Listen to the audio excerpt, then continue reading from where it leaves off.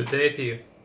In today's video we'll share with you how to view and explore the digital elevation model using the ArcScene and also uh, we'll share with you how to create a video uh, uh, using the ArcScene, uh, navigating the area of interest uh, you're presenting and also how to include the vector layer uh, next to the digital elevation model, maybe a polyline representing the uh, roads uh, or canals, maybe a polygon to uh, represent or highlight or in a specific area or in a specific location, and also give you an idea how to include the 3D text.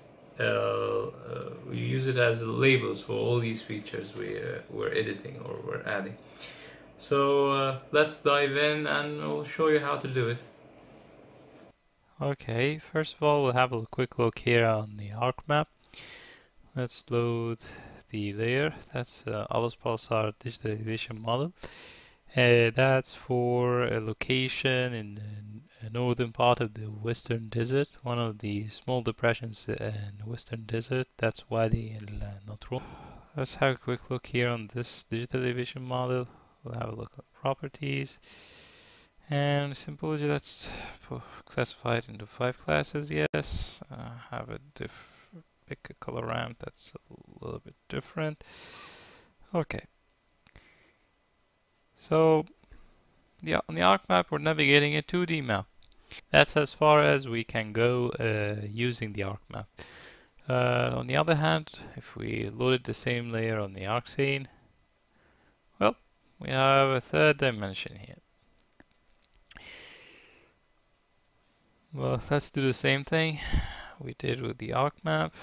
Properties, symbology, classified, put it to five classes, and we'll have a look here on this color ramp. Okay, it's still in 2D. In order to view or to display the 3D dimension, or right click and properties on the layer, and in the base height. Okay. If we just click elevation from surfaces, floating on the custom surface, surface, and we're already picked by uh, the only layer that's available here, and the factor to convert layer elevation values to scene units. One that's going to be the same as the data that's mentioned uh, uh, in the layer. The difference between the elevation here, it's not that big of a difference to be honest with you. That's from minus, uh, 52 to 254 meter above the sea level. So that's in total around 300 meter. If you're gonna have a look on 300 meter on this uh, location, this is a very very large uh, location. But the thing is, you will notice that there is a, some sort of an effect here. You'll start to view it that this area is a little bit higher than this one and this one is a little bit higher than this. You know, it's beginning to pop here. What we're going to do now is just to magnify this uh, uh, uh this difference by uh, multiplying the uh, the difference here with this particular factor. Maybe to put it to 100 and we're having a very very very huge difference in elevation. Kind of maximized the difference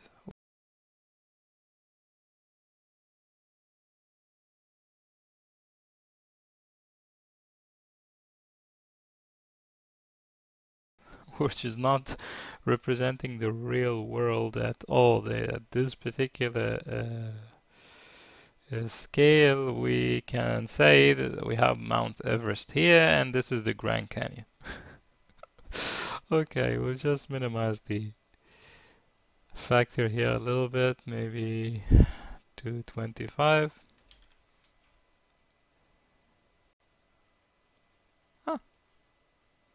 Things is a little bit more reasonable than it, than it was. Okay. So that could give us an idea about that this is uh, this location has a lower elevation than the, that particular one. This is high and this is low. That's the depression, Wadi Natron. And these are locations a little bit higher in the elevation next, next to it, yes.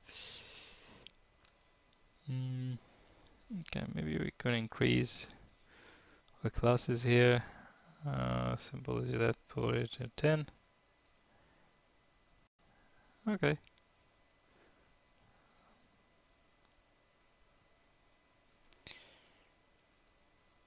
Okay. So we're going to include also a couple of other layers. Let's add um, roads. Okay. Mm -hmm. So that's a vector layer. Thing is, uh, we this particular layer starts to take the elevation, but that one isn't. So we're going to do the same thing for a, a every layer we're going to add here. So right click on the layer, properties, and base heights as well, and do the same thing. And we'll do the same thing with the factor as well. That's 25. Uh, should be doing something else, but let me give me an idea about what happens if we did did it like this. Okay, so he only presented the layer that contains the elevation uh, um, value, which is the only the the part that uh, covered uh, covers the digital elevation model.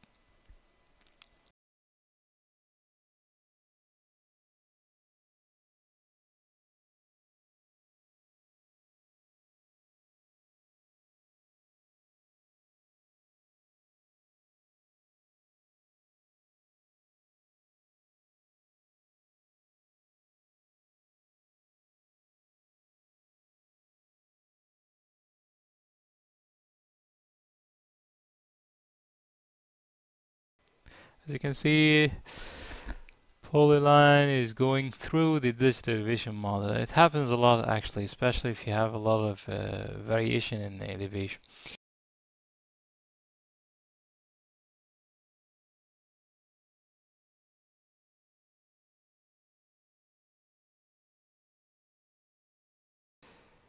Okay, what we're going to do here is more like add uh, a difference in elevation, maybe add an extra 25 meter. A layer offset, there, this is a, a gap between the layers. Okay, let's do it again. Maybe 500.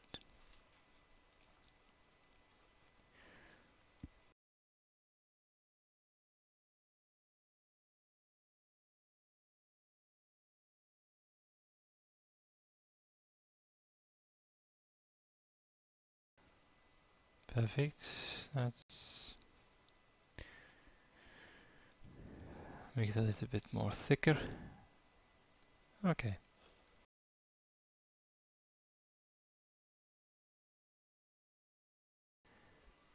Uh, so these are the roots. Okay. Let's try to add a 3D text. Okay, right click and add the layer for 3D graphics. Okay, add a 3D text and click here. Call it Wadi El not well. Okay, click on enter. It is created, but usually by default it has a very very small uh, font. Just have a focus on it here. You'll see it. Okay, so we just select it and click here on the color, text color. We have 3D text and we'll have the size and position. As for the size, let's put it more like uh, 1000 and the depth 1000 as well. Click on apply and okay. Zoom to layer.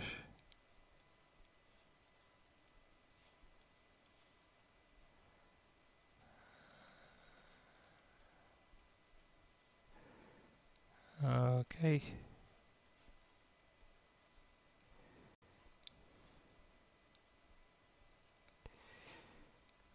Okay, on size and position as well. Okay, uh, program uh, took the elevation here from the part of the raster layer I just clicked on. So I'll just reduce it it's already negative uh, minus 133 let's put we have the maximum uh, number here or maximum elevation on the layer that's 254 okay let's put it on let's say 300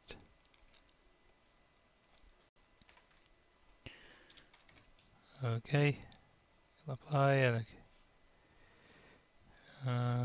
okay again.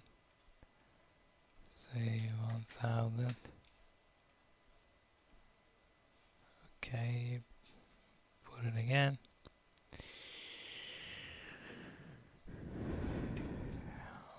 Apply.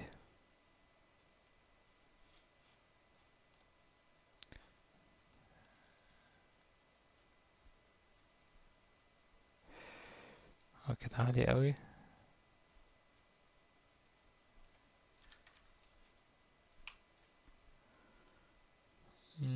case, let's put in 5,000, and that sounds reasonable.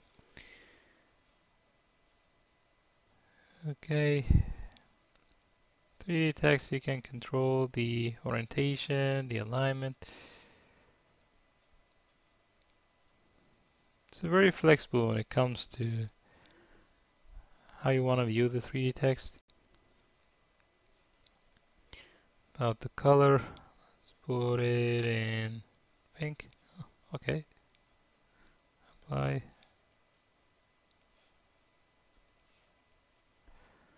Okay. Let's add another one. 3D text and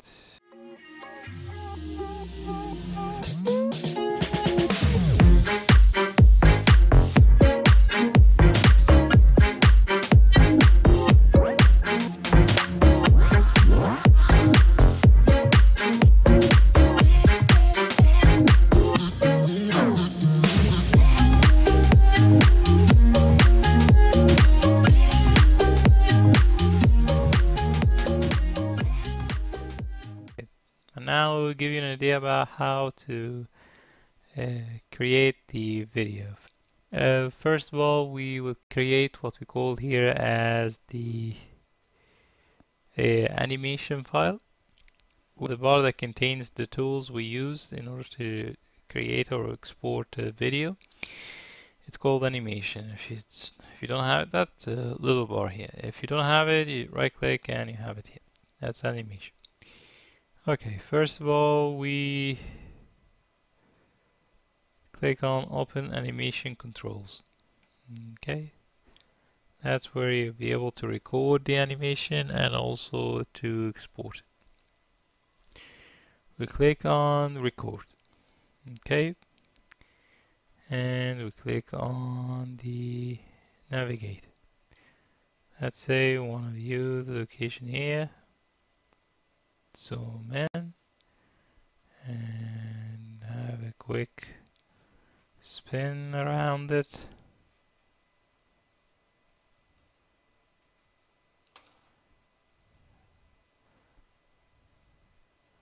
And we're back. That's it. Click on record again and click on play.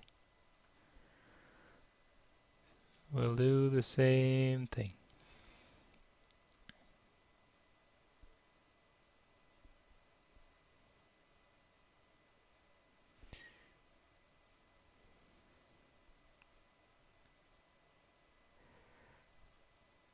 And this camera or movement, couple of movements made to the camera, you can save it if in case you wanna export a couple of videos for the same location using the same camera movements for different layers. Maybe you're just want uh, to export the the digital elevation model without any other features and also to, to display to export it again to create a new video uh, to start to view a different uh, completely different layer. So we have the animation file. We can export the animation file here. Save animation file. And go to location. Mm. say we want to save it here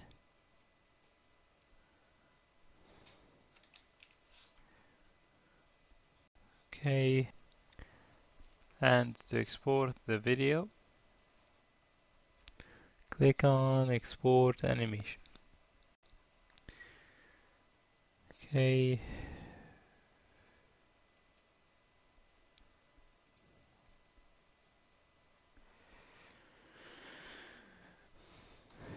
That's video.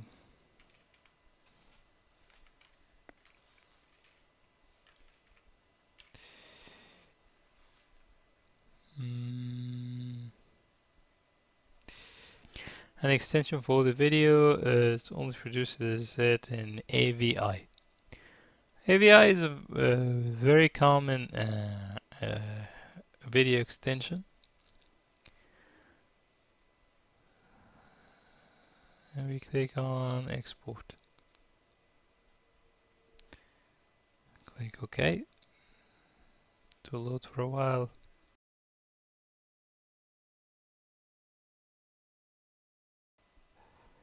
Any video player can play an AVI uh, video, video.